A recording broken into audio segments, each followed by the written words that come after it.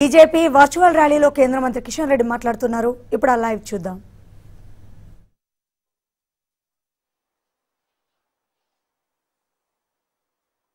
మన మన్మోహన్ సింగ్ గారు రాజ్యసభలో మాట్లాడిన అంశం కూడా మనం చేస్తున్నాం.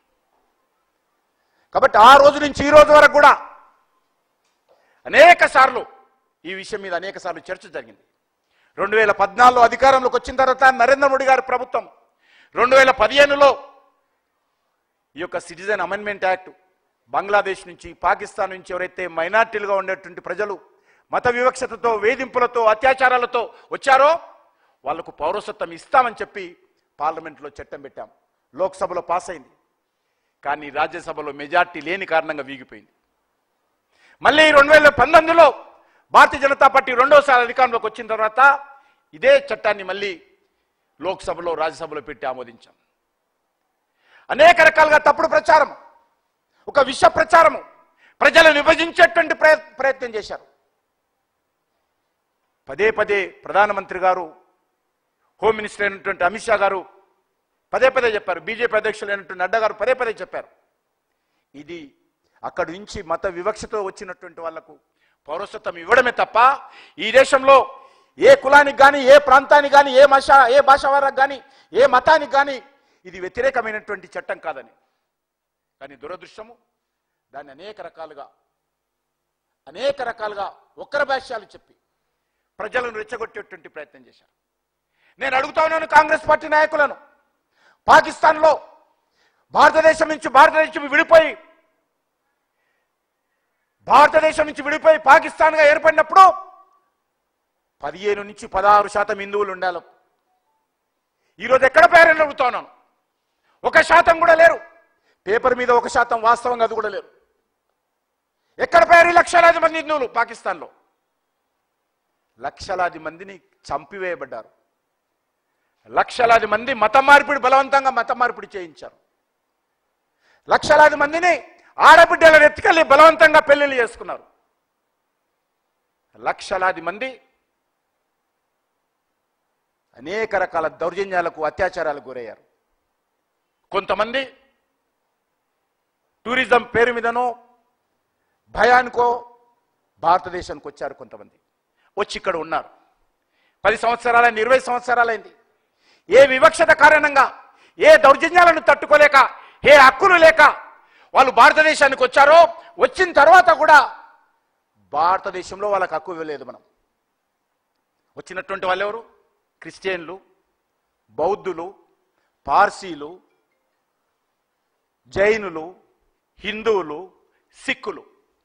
అక్కడ ఇస్లామిక్ దేశం కాబట్టి ఇస్లాం ఆధారంగా పరిపాలన కొనసాగిస్తున్నారు కాబట్టి ఇస్లామేతరుల మీద దౌర్జన్యాలు చేసినా వాళ్ళకి హక్కులు లేని కారణంగా వాళ్ళు అనేక రకాల కష్ట నష్టాలకు గురై సొంత ఊరును ఆస్తులను బంధువులను వదిలిపెట్టి కొంతమంది మత మార్పు కాబట్టి ఆడబిడ్డలను వదిలేసుకొని కొంతమంది వచ్చారు ఇక్కడికి.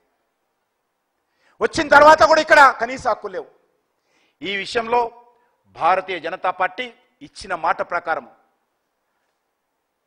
ఈరోజు సిటిజన్ అమెండ్మెంట్ యాక్ట్లో ఒక గొప్ప చారిత్రాత్మకమైన నిర్ణయం డెబ్బై సంవత్సరాలుగా చర్చ జరుగుతున్నటువంటి ఈ నిర్ణయాన్ని ఈరోజు నరేంద్ర మోడీ గారి నాయకత్వంలో పరిష్కార మార్గం కనుగొన్నామని చెప్పి మనం చేస్తా ఉన్నాను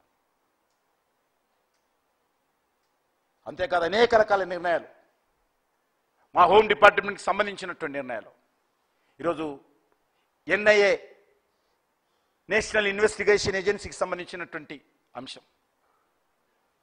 భారతదేశంలో ఉగ్రవాద కార్యక్రమాలు చేస్తే వాళ్ళను టెర్రరిస్టులుగా ప్రకటించే అవకాశం లేదు. అన్లాఫుల్ యాక్టివిటీ అమెండ్మెంట్ యాక్ట్ ఈ రెండు చట్టాలను కూడా దేశంలో ఉగ్రవాద కార్యక్రమాలను భారతీయ జనతా పార్టీ ఎజెండాలో ఉగ్రవాదం విషయంలో జీరో టాలరెన్స్తో ఉండాలనేటువంటి లక్ష్యం మాది. మన లక్ష్యం అది.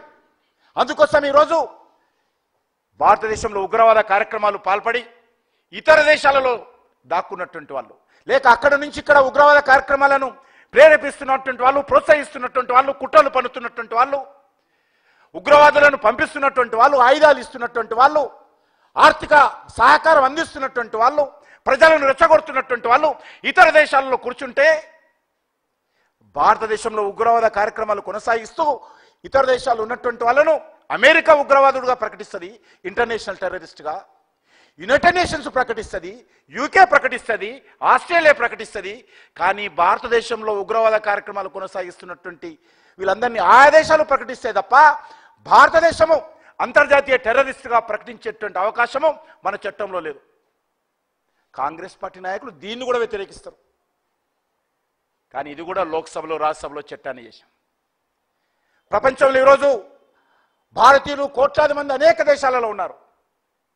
అక్కడ ఏ రకమైనటువంటి దౌర్జన్యం జరిగినా అత్యాచారాలు జరిగినా ఉగ్రవాద కార్యక్రమాలు జరిగినా ఆస్తులు ధ్వంసం చేసినా మనం పూర్తిగా ఆయా దేశాల పోలీసుల మీద ఆధారపడి మనము రిపోర్ట్ తీసుకోవాలి. మనం వెళ్ళడానికి ప్రపంచంలో భారతీయుల ఆస్తులు దాడులు జరిగినప్పుడు ఆ దేశాలకు వెళ్ళి ఆ దేశాలలో దర్యాప్తు చేయడానికి మన పోలీస్ వ్యవస్థకు కానీ మన రక్షణ సిబ్బంది కానీ అధికారం లేదు. కానీ ఈరోజు నరేంద్ర మోడీ గారి ప్రభుత్వము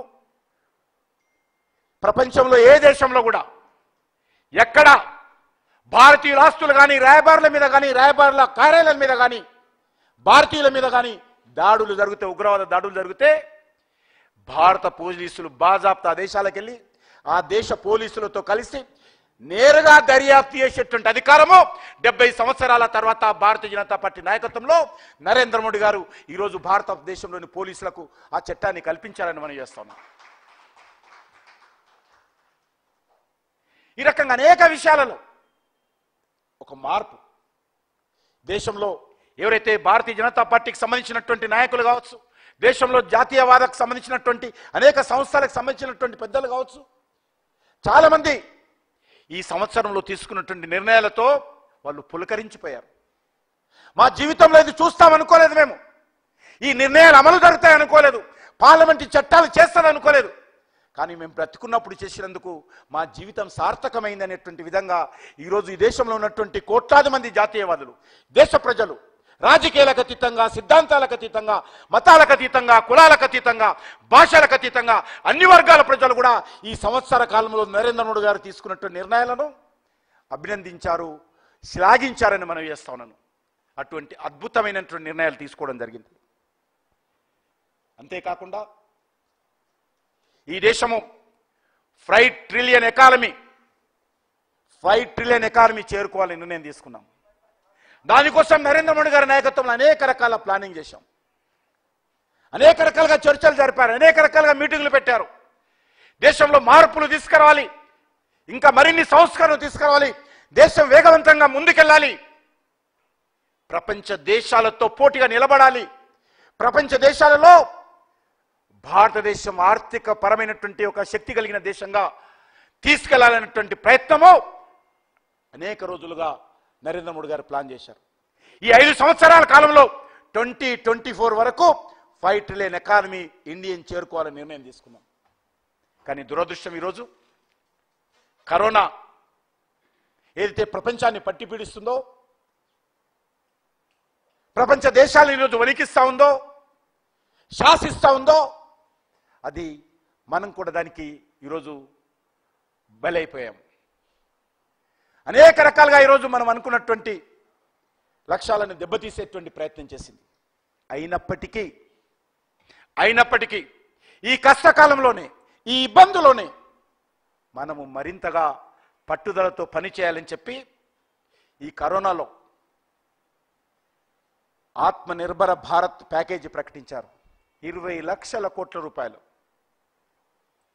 దేశంలో వ్యవసాయాన్ని ముందుకు తీసుకెళ్ళాలి. ఎందుకంటే ఇప్పటికి అరవై శాతం మంది ప్రజలు గ్రామీణ ప్రాంతాల్లో ఉంటారు. వ్యవసాయం మీద ఆధారపడి జీవనం కొనసాగిస్తున్నారు కాబట్టి వ్యవసాయాన్ని తీసుకుపోవడం కోసం ముందు అనేక రకాల కార్యక్రమాలు ప్రకటించారు. పట్టణ ప్రాంతాలలో చిన్నతర మధ్యతర పరిశ్రమలను ప్రోత్సహించాలి. వాటి ఎగుమతులను పెంచాలి. Vocal to local local to global ఆ రకంగా ఈరోజు దేశంలో ఉత్పత్తులు పెంచాలి. ప్రపంచంలో ఎక్స్పోర్ట్ చేయాలి. పట్టణ ప్రాంతాల్లో ఉన్నటువంటి యువతకు ఉపాధి అవకాశాలు కల్పించాలనేటువంటి ప్రయత్నము ఈ కరోనా కష్టకాలంలో కూడా కరోనా మహమ్మారి హయాంలో కూడా నరేంద్ర మోడీ గారి నాయకత్వంలో ఆత్మనిర్భరత భారతదేశం ముందుకెళ్ళాలి అనే నిర్ణయం తీసుకోవడం జరిగింది. మైగ్రెంట్ లేబర్ కోసం ఈరోజు ఒక లక్ష ఒక కోటి ఒక లక్ష ఒక వెయ్యి కోట్ల రూపాయలు లక్ష వెయ్యి కోట్ల రూపాయలు మైగ్రెంట్ లేబర్ కోసం మనిరేగా నిధులు ఖర్చు పెడతా ఉన్నాం. చాలా మంది మాట్లాడారు మైగ్రెంట్ లేబర్కి పట్టించుకోవడం లేదు పట్టించుకోవడం లేదు. కానీ నరేంద్ర మోడీ గారు ఏ కార్యక్రమం చేపట్టినా నిర్మాణాత్మకంగా ఒక పద్ధతి ప్రకారం ఒక పథకం ప్రకారం ఈరోజు దేశ భవిష్యత్తు కోసం దేశ అభివృద్ధి కోసం పేదల అభివృద్ధి కోసం పేదల సంక్షేమం కోసం దేశ రక్షణ కోసం నిర్ణయం తీసుకుంటారు. అంతేకాదు ఈరోజు రక్షణ రంగంలో విదేశీ పెట్టుబడులు ఆకర్షించేటువంటి ప్రయత్నం మత్స్య సంపదను పోషించేటువంటి ప్రయత్నం పాల పరి పరిశ్రమ అభివృద్ధిని పశు సంపదను అభివృద్ధి చేసేటువంటి కార్యక్రమం. ఒకటి గ్రీన్ రెవల్యూషన్ అగ్రికల్చర్ కింద వైట్ రెవల్యూషన్ పశు సంపద పెంచే విధంగా బ్లూ రెవల్యూషన్ మత్స్య సంపద పెంచే విధంగా ఈరోజు నరేంద్ర మోడీ గారి ప్రభుత్వం గ్రామీణ ఆర్థిక వ్యవస్థను గాడిన పెట్టేటువంటి ప్రయత్నం చేస్తా ఉన్నారు. పట్టణ ప్రాంతాలలో ఈరోజు అనేక రకాలుగా స్ట్రీట్ వెండర్స్ నుంచి మొదలు పెడితే పారిశ్రామికవేత్త వరకు కార్మికుల నుంచి మొదలు పెడితే పొదుపు సంఘాల వరకు